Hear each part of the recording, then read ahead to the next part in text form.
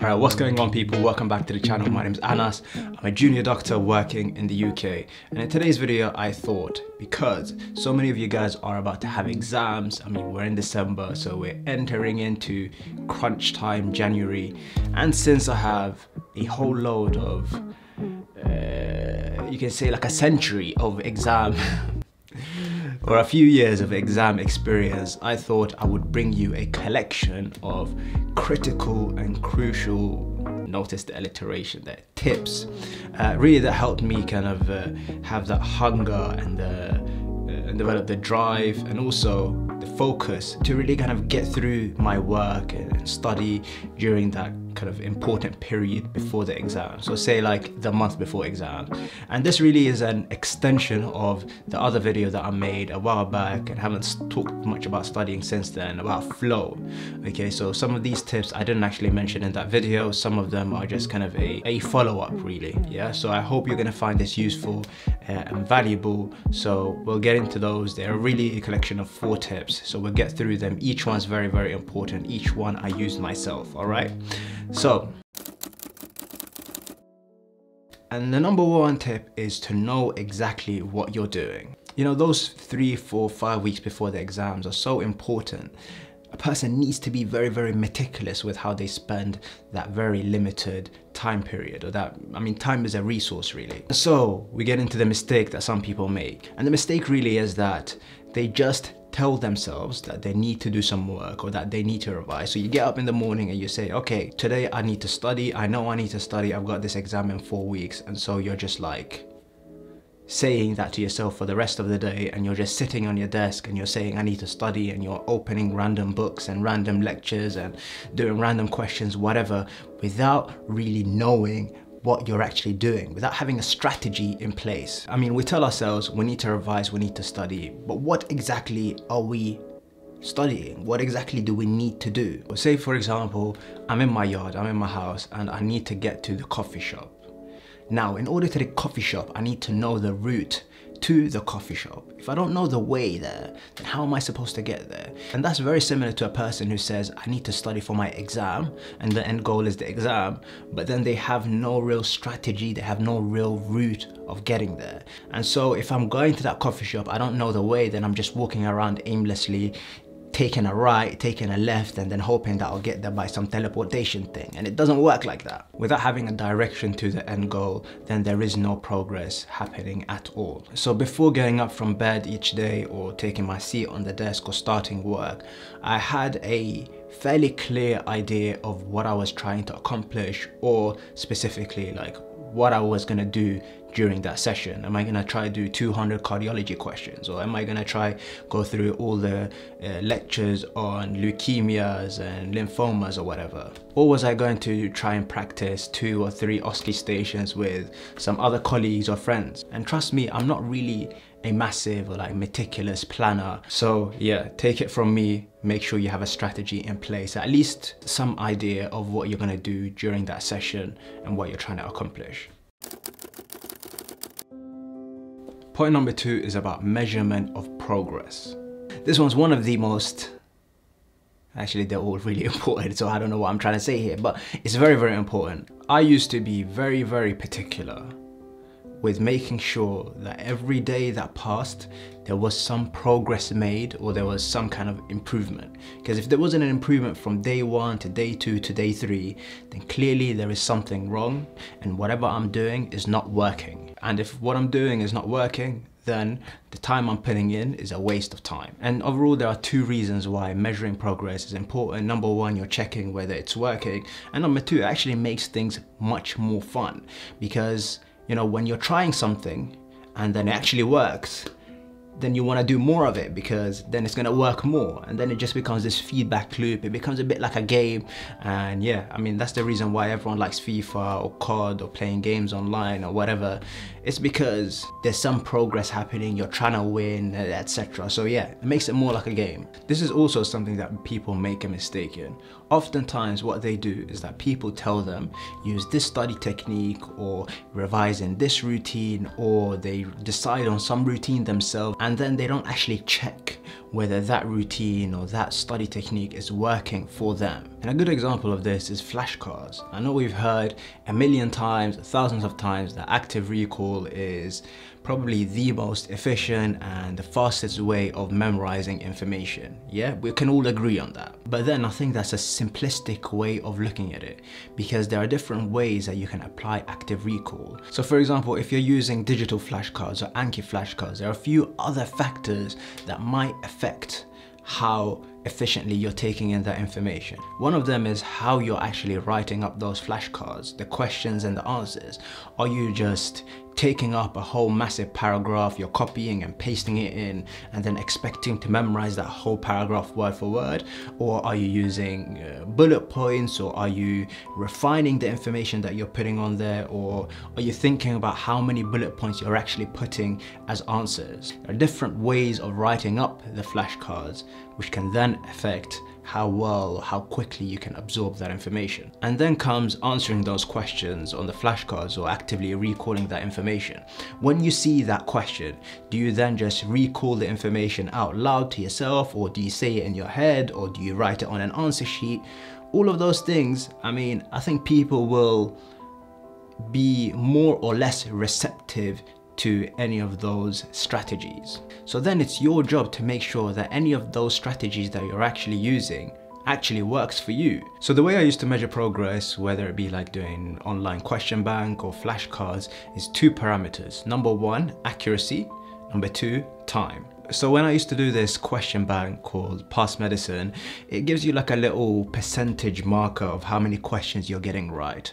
And what I used to do is keep a close mental track on how that percentage is progressing. So uh, session one, it might be 60%. Then session five, it might go up to 67%. And then after two, three weeks, I might be getting in the 70s and 80s, yeah?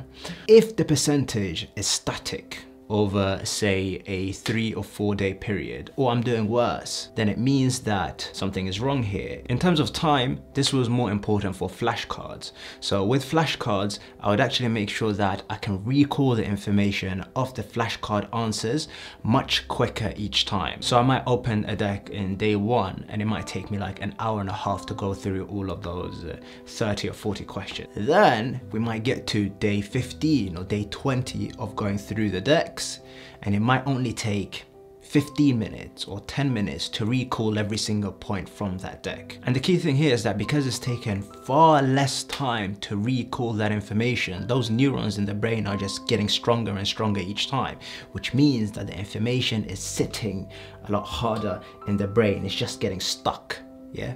That's a good thing. And now that we've talked a bit about measurement of progress, it kind of links in with personal development. And now that we mentioned personal development, that takes us on to the sponsor of today's video, which is Skillshare, which is this amazing kind of community and platform for learning new skills. And loads of creators make classes on there on a variety of topics from art and business and productivity and, uh, and, and language and graphic design, etc. So many topics and I've used Skillshare for a very, very long time. In fact, you know, with some of those videos that I've made where, uh, actually, let me show you, yeah? You see this object moving from this side to this side, yeah? And then you see this popping up here and you see that popping up here. All of those animations I learned how to make from scratch. And guess how I learned how to make those from scratch? From Skillshare. So anytime I want to learn something, the first thing I do is just go on Skillshare, try and search up that topic. In particular, when it comes to video editing and animation and graphic design and things like that. I just search it on there, I find a class and I click on it and I watch it, I learn, then I apply to my channel. And loads of you guys ask me all the time how I make those animations. Well, there you go. And the one class that I always recommend when I talk about Skillshare is one particular one by someone called Jake Bartlett and it talks about After Effects and After Effects is the software that I use in conjunction with Premiere Pro in order to edit uh, great videos. So he's got a few classes on there and one of them in particular talks about the speed graph. Yeah, you might not know about it, but the speed graph is something that you use in order to manipulate how quickly an object moves through the frame. So it might move slowly to begin with and then it moves faster and faster and then slow again, right? And uh, I mean, to me, that's just like aesthetically pleasing uh, when I get that speed kind of right and the motion and the blur and all of that. And aside from that, if you're interested in growing and building your own YouTube channel or your own platform, then I made a whole comprehensive class on how I built a meaningful channel or my channel. Uh, so hopefully there's a lot to learn from that as well. And you can find that by searching my name on Skillshare too. And so if you're interested in using Skillshare, then the first 1000 people or my beloved subscribers to click the link in the description will get a free premium trial of Skillshare. So use that link in the description to get your free trial of Skillshare today. And then we get on to point number three, and this one's also the most important. I've said every point is important, but this one's also important, and this is something uh, I used to do for a very, very long time, even when I didn't even know what it was. I used to do this when I was a lot younger and then the habit just kind of stuck with me. More recently, I've just been so busy that it hasn't been happening. But anyway, try use this. And essentially what I used to do, or what I kind of do sometimes, is every night before I go into bed, I try to form a mental movie or a mental video of the things that I'm trying to achieve and me getting to the finish line of it. So an example of when I was younger is uh, when I used to play a whole lot of sports, yeah? And if I had a football match the next day, then the night before I would play the match in real time in my head. It's almost like I'm watching it happen before it's even happened. And I would see myself, okay, I would have the ball, I'll be in the corner, I would cut through a couple players, bam, bam, flip, flap, boom, cut past another player and then dash it in send it into the top bins right corner and it's a goal yeah and i used to watch this just like over and over again and to me once i'd seen it and it was so real to me and it made me so focused at making this a reality. And it would be the same thing for exams. So if I was studying for an exam two, three weeks ahead, then every night before I go to sleep, then I'll play that mental movie of me on the exam day, going into the hall, sitting down on the seat, opening the sheet, looking at the questions, me knowing all the answers of the questions, taking them,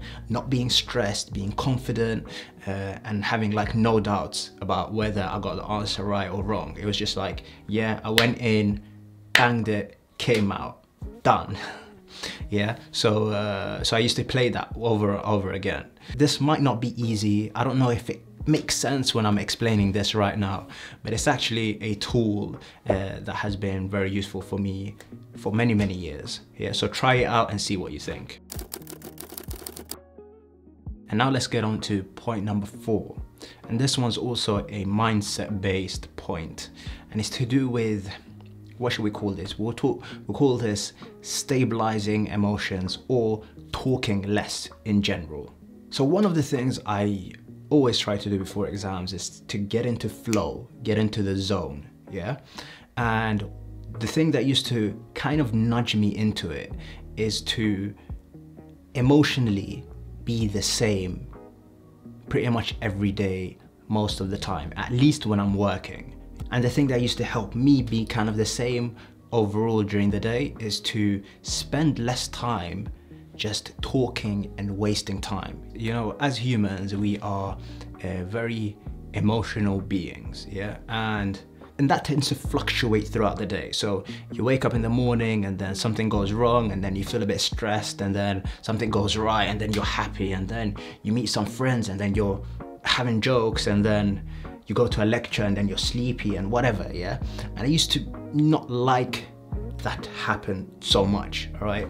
And the other thing is that we're also affected by the vibe of people around us. So at least I am, and that's my personality type. So uh, like if I, if I walk into a room, I can instantly kind of, uh, uh, not measure, but have an idea of what the vibe or what the energy in that room is. And so in order to avoid being too affected by what is happening all around and being more in control of uh, what's going on in my own mind and maintaining the focus and maintaining flow and maintaining my presence in the zone, I would essentially just talk less, yeah? And people knew straight away that when I'm in that zone and I'm sitting on that desk, I have that like, that face, which is like, don't chat to me face, yeah? And then obviously I'm not saying like, sit down and be depressed in the corner all day long, yeah? What I'm saying is, there's a time and a place. And so what I used to do then is save all the jokes and the banter to either the start of the day or the end of the day or like lunchtime. Yeah, so if we're going for lunch, then I switch up. Yeah, we're joking, we're chilling, we're bantering, everything. And then once that's out, then, you know, it's work time. So don't chat to me. And then obviously do that for the rest of the day. And then after work, then meet up with people and then we chat again, we chill, go restaurants, eat, whatever yeah? But not mixing those together. I used to talk less, I didn't really work in groups too much, uh, and I just sat on my desk with, like, emotionally, it was just like, and that's what it was. Like, it felt like, you know what, I was in the zone. So I don't know if that one makes sense, but it will make sense for those who have a similar personality type to me, uh, that kind of somewhat introverted personality type and that's it. So I hope you liked that video. If you liked the video, then like the video, comment below what you thought. Uh, make sure you subscribe if you haven't subscribed already. Use the link in the description to get a free trial of premium Skillshare membership and that's it. Smash your exams. Safe.